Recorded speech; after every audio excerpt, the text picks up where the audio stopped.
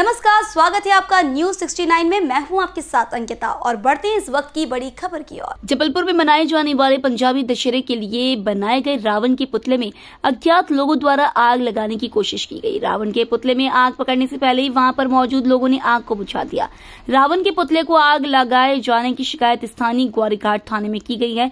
थाना प्रभारी गौरीघाट राजीव त्रिपाठी ने बताया कि पंजाबी हिंदू एसोसिएशन के उमेश शर्मा द्वारा पुलिस को की गई शिकायत में कहा गया है कि जबलपुर में पिछले सत्तर सालों से पंजाबी दशहरे का आयोजन किया जा रहा है। पंजाबी दशहरे में साठ फीट ऊँचे रावण और कुंभकर्ण के पुतले का दहन किया जाता है। तेईस अक्टूबर को पंजाबी दशहरे का आयोजन ग्वारीघाट के शासकीय आयुर्वेद कॉलेज मैदान में किया जा रहा है। इस मैदान में साठ फीट के रावण और कुंभकर्ण के पुतले को लगाया गया। 21 अक्टूबर की रात किन्हीं अज्ञात लोग रावण के पुतले को आग लगाकर भाग गए। रावण और कुंभकर्ण के पुतले को आग लगाकर कार्यक्रम को असफल करने की कोशिश की गई। आयोजकों ने पुलिस से जाँच कर उचित कार्रवाई की मांग की है। पुलिस शिकायत के आधार पर अज्ञात लोगों की जाँच पड़ताल में जुट गई है।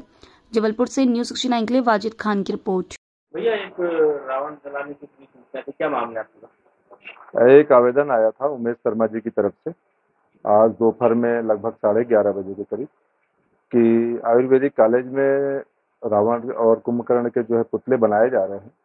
तो कल रात लगभग दोपहर रात में एक बजे के करीब दो अज्ञात लड़के आकर वो पुतले को जो है, कुंभकर्ण का जो पुतला है उसको जलाने का प्रयास किया तो मामला पंजीबद्ध कर लिए हैं और उसमें विवेचना कर रहे हैं। अज्ञात है। हाँ दो अज्ञात लड़के उन्होंने बताया कि मोटरसाइकिल से आए थे और पुतले का निचला हिस्सा थोड़ा जला हुआ है।